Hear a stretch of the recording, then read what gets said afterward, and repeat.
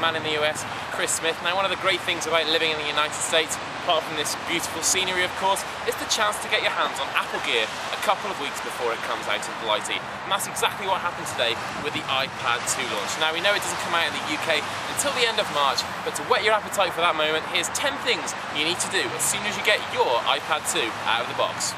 Number 1. Use the newly furnished iPad 2 camera to take a picture and set it as your home screen.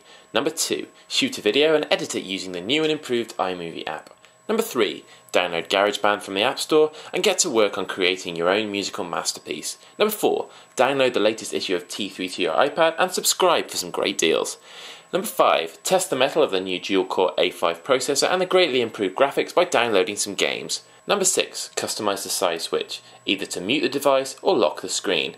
Number 7. Get yourself a new smart cover and protect your new iPad and its battery life. Number 8. Give the FaceTime app a try and make some video calls to fellow iOS device owners. Number 9. Set up iTunes home sharing with your Mac or PC and stream your entire music library to the iPad.